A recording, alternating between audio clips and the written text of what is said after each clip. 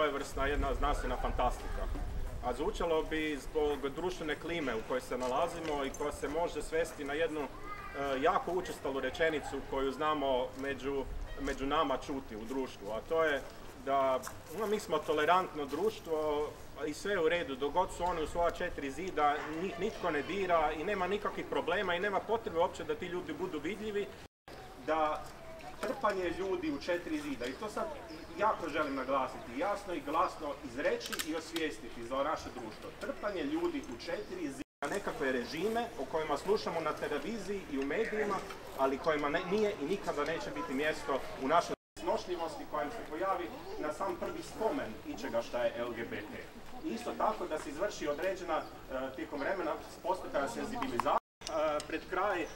samo još jedna stvar, dakle, ovakav događaj zbog društvene klime stvaru u Karlovcu nije jednostavno organizirati. I ja ne mogu doista da se ne zahvalim e, gospodinu Dobriši Adamecu i gospođi Ani Matan koji su...